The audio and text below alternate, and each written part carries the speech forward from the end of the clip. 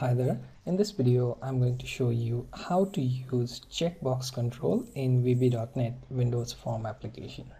So open VB.NET Form solution and go to view menu then click on toolbox. Here you have to find checkbox control. So scroll and find that checkbox. Add as many as you want.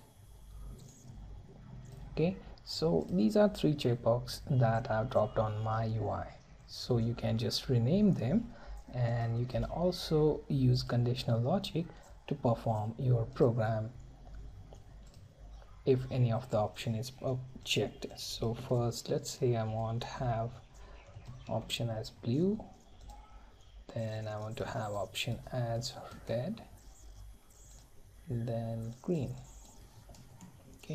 so you can use conditional logic. So whenever one of the checkbox gets selected you can put some text box to display that selected option.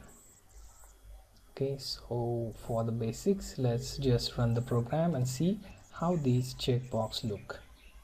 So you can see you can select them uncheck them and you can check from multiple as well.